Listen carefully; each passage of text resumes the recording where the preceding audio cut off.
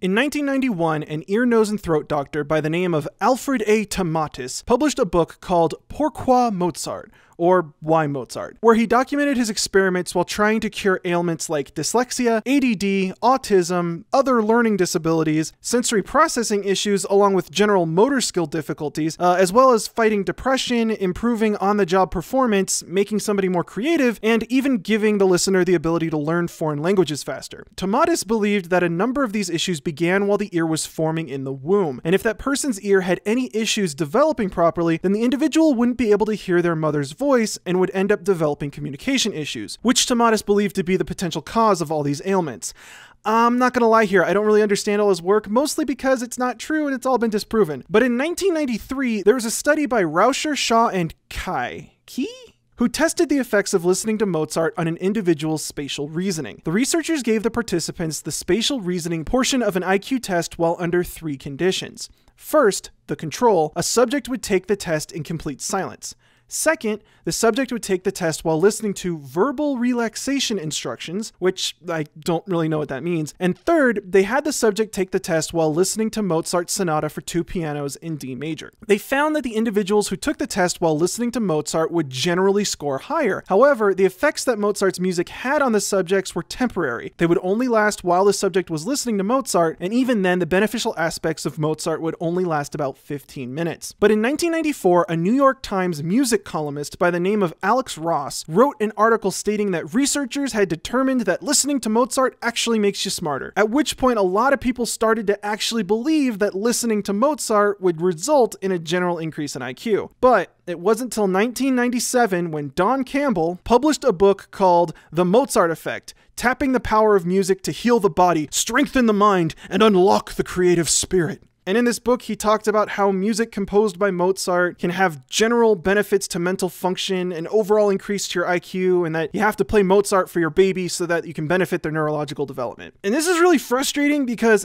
aspects of these studies are true and come from the right place, but none of these individual studies have really honed in on what's happening in the brain. And at the same time, there's some serious cultural exploits taking place here that would make a story like this not only believable, but extremely profitable, especially in America. See, America has always had this fascination with Europe. Like, how many times have you heard of a college student taking a semester to travel around Europe and then they come back and suddenly they're all enlightened and high and mighty? Well, that idea goes back to the 1800s America. Way back when, if you wanted to be educated, especially in the arts, you had to travel to Europe and learn from the European masters. That meant that if you were part of the upper echelons of society, you probably spoke more than one language, had a degree from a European college, and had pen pals in Europe.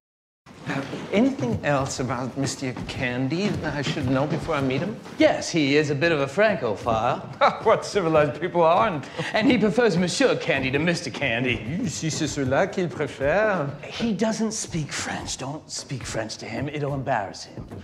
But after the World Wars and all of Europe bombed itself into smithereens, America, as well as all the other former European colonies, i.e., the rest of the planet, kind of took one long look at Europe and started to question the cultural superiority that Europe had held over the world for the last few hundred years. At which point, you start seeing more and more people staying in the States to go to school, and along with the massive economic boom of the 1950s, you start to see New York and LA become massive cultural centers of the world. But we still have that highly romanticized idea of Europe. Like, just think about how crazy people go for the Renaissance Festival, or like how a lot of people in the States will use the Eiffel Tower as a romantic symbol. So if you take a prolific European composer, it'd be pretty easy to convince a lot of people that there's something super high class and special about listening to someone like Mozart. And Mozart was no slack. He was a child prodigy and toured all over Europe giving concerts while he was still a child. He wrote an insane amount of music over the course of his very short life, and he was one of the first freelance composers who ever lived. One time, when he was 14, he listened to Gregorio Allegri's Miserere, Miserere, Monsieur? He listened to a very important piece of music at the Sistine Chapel on Easter. It was a special piece that they performed on Easter, and back then you could only perform a piece if you had the score. And the Catholic Church kept this score for this piece under lock and key. So the only way you'd be able to hear this piece is if you were at the Sistine Chapel on Easter. Well, while on tour, the 14 year old Mozart heard the whole piece, and that night, when he couldn't sleep, he wrote down the entire 15 minute piece of music, note for note, from memory. The following day, he returned to the second concert to make sure that all the notes were correct, and sure enough, there wasn't a single mistake. Now, since Mozart had recreated the score, the piece wasn't special anymore. The secret was out. Mozart was kind of like the first ever musical pirate. But instead of excommunicating him, Pope Clement XIV awarded Mozart the Order of the Golden Spur, which I think technically makes Mozart like a Catholic knight or something. I don't know. So Mozart was totally a musical badass, which makes sense as to why so many people might think that his music has some sort of supernatural power to it. But you have to realize that this is the same guy who had a romantic relationship with his cousin, had a serious poop fetish, like used to send really gross letters to his cousin, like as a romantic gesture, and she'd be really gross and send some letters back. But then Mozart also sent like poop letters to his dad, and then Mozart got back at his crush by marrying her little sister instead of his cousin, and they stayed married until he died. So, is that the guy you want being the role model for your kids? I don't know. But as far as classical composers go, Haydn really made more progress for the world of music over the course of his lifetime. I mean, we don't call him the father of the symphony for nothing. But I'm getting distracted. Okay, like I said, the most frustrating part about this phenomenon that we call the Mozart effect is that it actually works. Listening to music composed by Mozart can actually make you smarter, and it's all related to this picture. Twice a year, right around finals week, I have to see this stupid picture on Reddit claiming that you should study while listening to video game soundtracks because there's something about video game soundtracks that provides a stimulating background that doesn't mess with your concentration. I don't know what a stimulating background soundtrack means. I don't know how to write stimulating background music, and if any type of music is supposed to just sit in the background, then what's the point of having it? But the worst part about this picture is an element of it is actually true. So buckle in because we're going to have to get into some neuroanatomy. Okay, so there are these two areas of your brain called the Broca's and Wernicke's areas. The Broca's area is here, and it's responsible for speech production. And the Wernicke's area is here, and it's responsible for speech comprehension. If either of these areas are damaged by stroke or by some traumatic injury, it leads to a condition called aphasia. A person with Broca's aphasia will understand language, but will have difficulty producing the words. This is called expressive aphasia. And what did you used to do? Um, well, um, worked um, Autodesk, um, seven seven sales, sales, and worldwide, and very good. Yeah. And a person with Wernicke's aphasia will be able to produce words, but they might not maintain any type of meaning. This is called fluent aphasia. What are you doing today?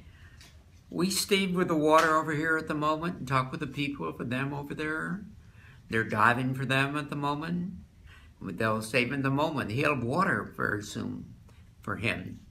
With luck, for him. This is actually the backbone of a lot of music therapy. Music therapists will use a variety of techniques to help a patient use other parts of their brain to compensate for what has been damaged and help them regain their ability to communicate. Now, it's really important to understand the Broca and Wernicke's areas and what they do because they play a key role in something called subvocalization. Subvocalization is what your brain does when you read a book. In short, it's the voice that you hear in your mind when you're reading a book or thinking to yourself. When that word in that book makes a sound in your head, it's your Broca and Wernicke areas producing that sound. But if there's someone talking to you, it overloads those areas of your brain and your brain is forced to pick only one task to work on. That's why libraries are quiet. If people are talking around you and you can tune into their conversation, your brain literally isn't powerful enough to read and listen to the conversations happening around you unless you can focus hard enough and have your subvocalized voice be louder than the people around you. That's why coffee shops are so nice for studying and focusing. There's already so much noise that your brain can't focus on any single conversation, so you can focus on that subvocalized voice in your head. But all of that goes out the window when you put in your earbuds and start blasting Taylor Swift. Let's have a test. Here's a stock sound of a coffee house that I found. You can pick out my voice super easily because you can't really tune into the other noises. That's why something like rain is so peaceful. It creates a consistent backdrop for your inner voice. But if I start playing Taylor Swift, suddenly it's a nightmare to try and focus on my voice. The relative volume doesn't really matter, it's just too difficult to keep track of both things.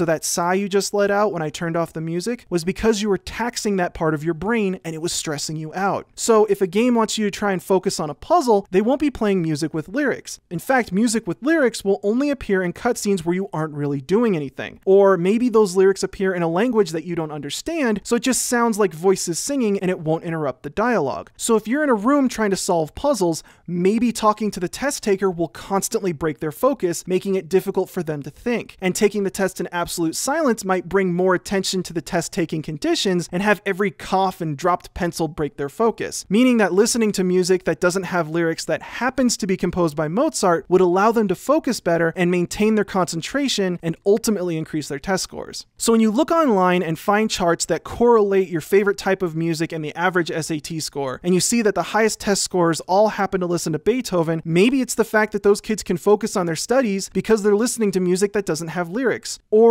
maybe it's because they have the type of parents who are so desperate to give their kid an edge on the SATs and get into a good college that they force their kid to listen to Mozart or Beethoven because a news article or a chart on the internet said that it might give their kid an edge. But maybe those parents are also the types who would buy their kids practice tests and send them off to private tutors. Maybe these parents are so desperate for their kids to succeed that they go as far as to micromanage what music their kids are allowed to listen to. So if you're trying to study or you really have to focus on something, listening to music that doesn't contain lyrics or at the very least contains lyrics in a language that you don't understand can help you eliminate any potential distractions. And in turn, maybe that helps you retain more information for that next test and you end up getting a higher grade all because of what music you were listening to. So, can listening to music composed by Mozart make you smarter? Yes. But by that logic, so can listening to all the battle themes from the Final Fantasy series and the soundtrack to The Dark Knight.